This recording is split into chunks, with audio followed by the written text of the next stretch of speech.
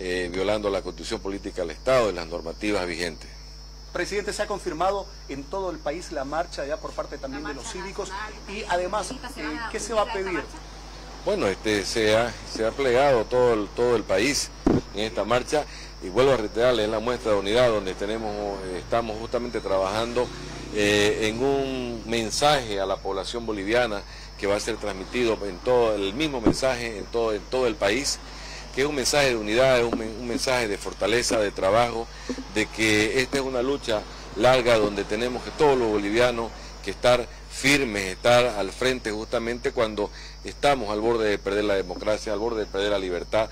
Hemos visto que tenemos un gobierno que es completamente dictatorial, que ha abusado de la población cruceña y boliviana que vive en Santa Cruz, que no ha medido justamente eh, el pedido de la, de, la, población que quiere vivir en paz y en armonía, que ha vulnerado los derechos de muchos ciudadanos, donde tenemos ahorita en este momento ciudadanos que tienen eh, daños daños irreversibles justamente por la presión y el abuso policial. Presidente, ¿a qué hora se va convocado la marcha en Santa Cruz? ¿De dónde a dónde va a salir? Eh, la convocatoria a las 17 horas sale justamente de la Plaza del Estudiante hacia la plaza principal.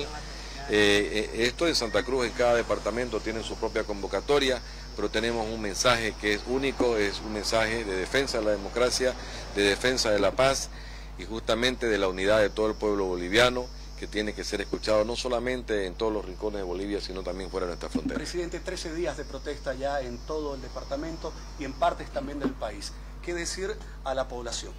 Lamentamos que el gobierno no escuche el clamor de la población que no está dispuesta justamente a ser sometida a un gobierno dictatorial.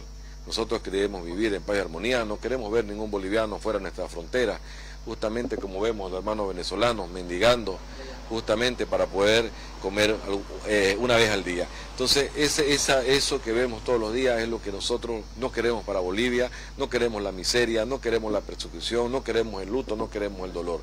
Y todos los bolivianos, eh, eh, en, en todos los rincones de Bolivia, vamos a transmitirlo eso con una marcha como está planificada en todos los departamentos. Estamos en vivo para cadena. ¿Qué se le dice a la población para el día de mañana en las movilizaciones? No, no lo entiendo. Doctor, ¿qué se le dice a la población para el día de mañana en las próximas convocatorias que se van a realizar también, por favor? ¿Las movilizaciones van a continuar?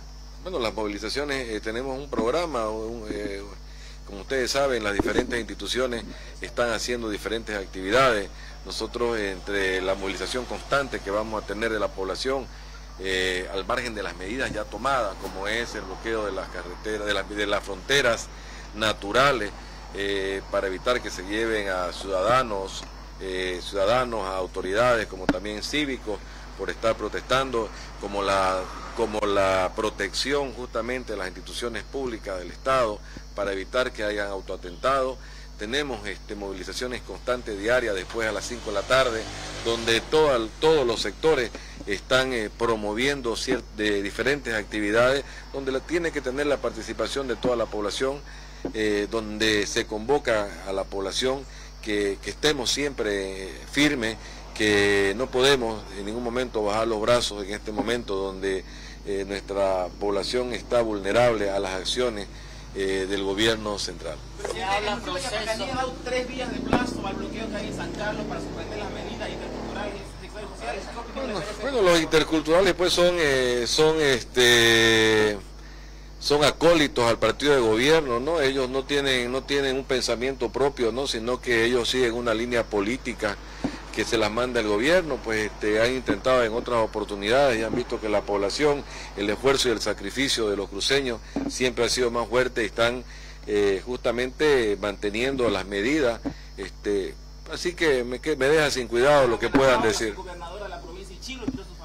Bueno, este, vuelvo a decirle, ellos actúan con violencia, ellos actúan bajo la protección del gobierno, nosotros los que actuamos eh, es bajo la, bajo la, la conciencia, este, un, actuamos eh, en protección a, la, a, nuestra región, a nuestra familia, a nuestros bienes, y ellos siempre están eh, por un camino equivocado. Presidente, mientras el país se moviliza, la audiencia de apelación no llega. ¿Qué le dice la justicia, presidente? por favor? Bueno, el gobierno, pues, su brazo operativo es la justicia, y con eso quieren callar y con eso quieren amedrentar y presionar a la población boliviana.